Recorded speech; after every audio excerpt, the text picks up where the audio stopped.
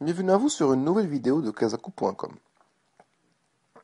Dans cette vidéo, on prouvera que toute suite réelle, majorée et croissante est une suite convergente.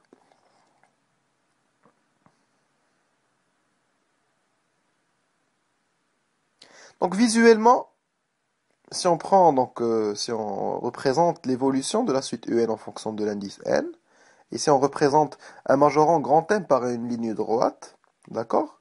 Alors, la suite UN, elle effleure cette ligne-là, au cas où le grand M, c'est le plus petit majorant de la suite.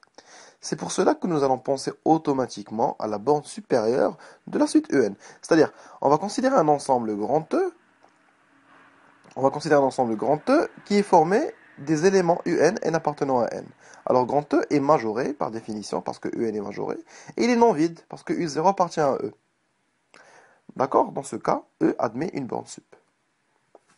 Alors, notons petit l, cette borne supérieure, et, prouvons que petit l est la limite de la suite UN.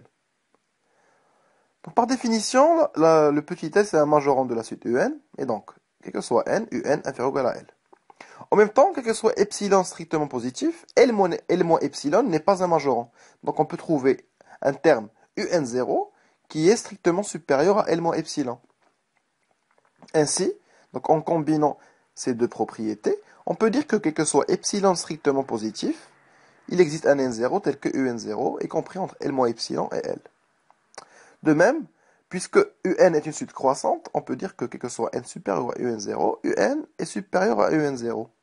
UN est toujours inférieur à L, bien sûr, parce que L, c'est un majorant.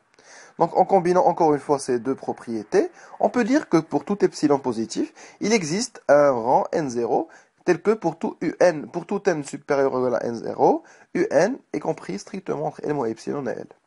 On peut ajouter un epsilon donc, du côté droit de cette euh, inégalité, et alors on retrouve la définition de la limite.